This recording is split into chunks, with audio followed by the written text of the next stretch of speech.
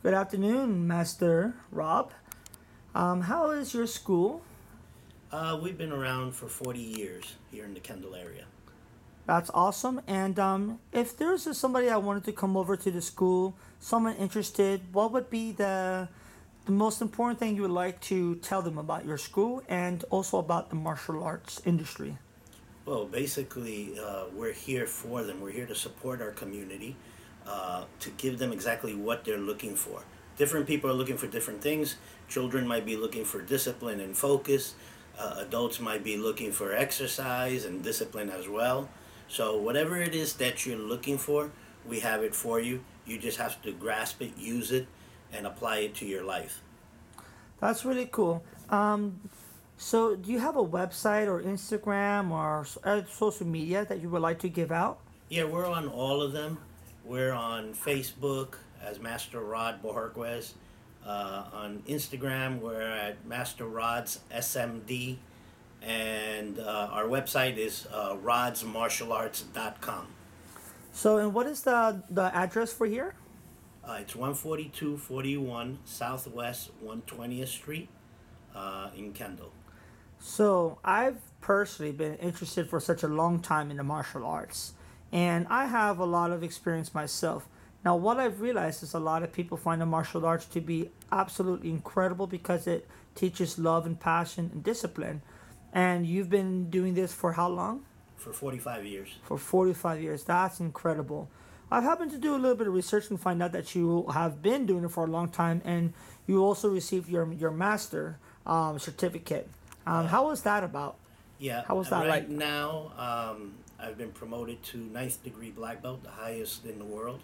So I'm a handful of people that have that grade, uh, and I'm, I'm honored and, and pleased to accept that, and, and basically to share that knowledge and experience uh, with my students, uh, because I think that's what the martial arts is about. is about giving back to the community and giving back to those that uh, wanna not just pursue the the uh, path of being a, a full martial artist, but just to experience what a martial artist is.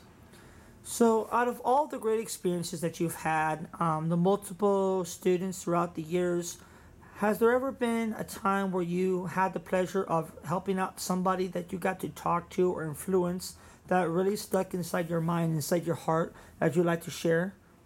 Um, well, there's a lot of different cases where uh, students of mine have grown up to be uh, very successful. Um, I have one. Well, I have. I'll explain one that he's, he's a young kid. Uh, he was a black belt. He was a middle school and then went to high school and then he went to the military.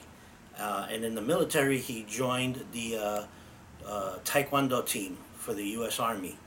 Uh, and then he became uh, captain. Then he became the head coach, and today uh, he is uh, head or president of the all uh, the World uh, Army Taekwondo organization. Uh, so I'm very proud of him that he you know he went from you know possibly being in the streets a street kid to being so responsible and disciplined and focused and taking the art that he started you know with me to be able to go and apply it and help people throughout the world. That's absolutely incredible. I, I myself believe that Taekwondo is uh, an incredible martial art. But what would you say to those that think that martial arts is about fighting or just trying to be a tough guy? What would you say to somebody that would ask you, is it about fighting or is it about tough guy or is it about discipline or what? I think um, we've gotten a bad name in the last few years, mostly because of mixed martial arts and UFC and all. Not you know, and that's not to blame them.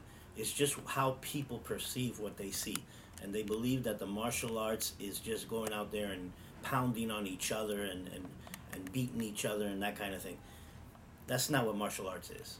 And some of the people really that are don't make it. I mean, martial uh, mixed martial arts professional fighting is just the same as boxing. There's millions and millions of people in the gyms working out and wanting to be world champions to make that big money, right? But only a handful really make it. Uh, and so there's a lot of street kids that go in there with a bad attitude, and they continue with that bad attitude because nobody's really training them. See, we're not coaches. Martial arts instructors are not coaches. Okay, we're teachers. We're here to teach you in your whole aspect of life, not just in the ring. That makes the difference. That's why martial arts is, is more important than going and fighting in a gym. Awesome. And um, I personally believe that martial arts teaches people who are insecure and, and lonely. It teaches them that they are strong, that they are powerful, and that they can accomplish anything. And so I personally have a lot of love and passion for those in the martial arts industry. And Taekwondo specifically is what I learned to be the strongest and most influential martial art in the world. And I also heard that the international levels um, and requirements for those in um, competitions, Taekwondo, are supposed to wear chest protectors and, and the headgear because of the, the powerful strikes from Taekwondo. Um, so, what would you say to somebody that was looking at um, karate, jiu jitsu, judo, taekwondo? What, what martial art would you recommend? And what do you think is the best um, thing for them to do to get into the martial arts? Well, obviously, the best martial arts is the one right here. No, just kidding. no, no, no.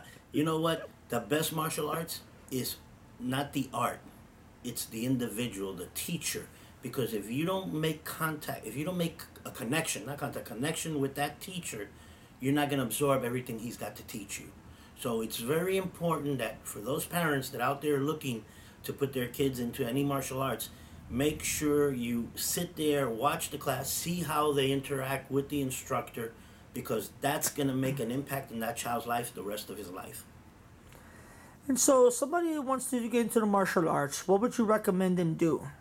Um, first thing is research. Number one, always first look for the, the school that is closest to your area because it makes no sense if you're going to have to drive 40, 50 minutes, an hour away. You might do it because, yeah, it's the best school, this and that, but you'll get tired of that. You'll get tired of being stuck in traffic and traveling, and what's going to happen? You're going to start missing classes, and that's not good.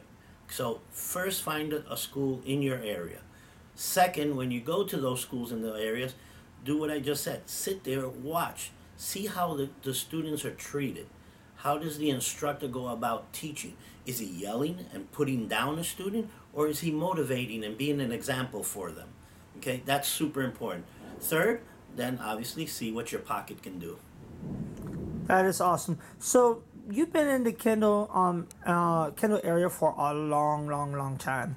You've also been doing this for forty five years.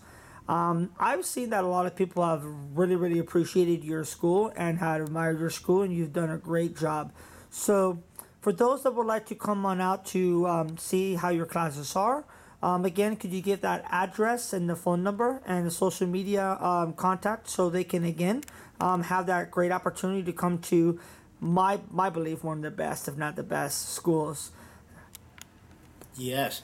All right. Um, again, it's 14241 Southwest 120th Street, Suite 105. And coming down, the first class is free. Again, I just want you to come visit us, get an experience, so we can sit down, we can talk, and see if I have to offer what you need. Awesome.